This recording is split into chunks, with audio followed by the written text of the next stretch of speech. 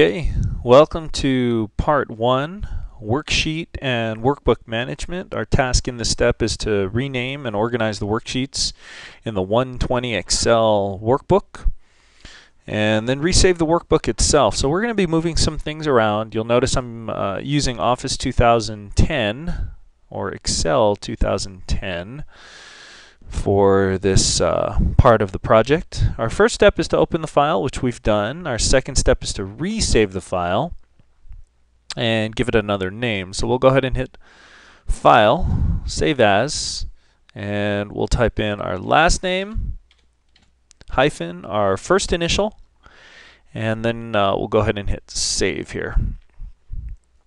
Uh, step number three is to rename Sheet 1 to formulas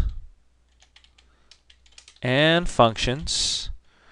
Rename sheet 2 chart and rename sheet 3 and we're going to call that subtotals. And then move the chart worksheet. We'll just kind of click and drag it to the right of subtotals there.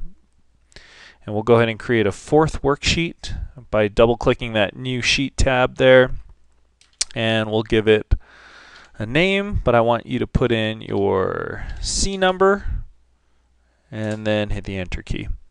Okay, so uh, that's the end of part one. We'll go ahead and save it and then move on to part two.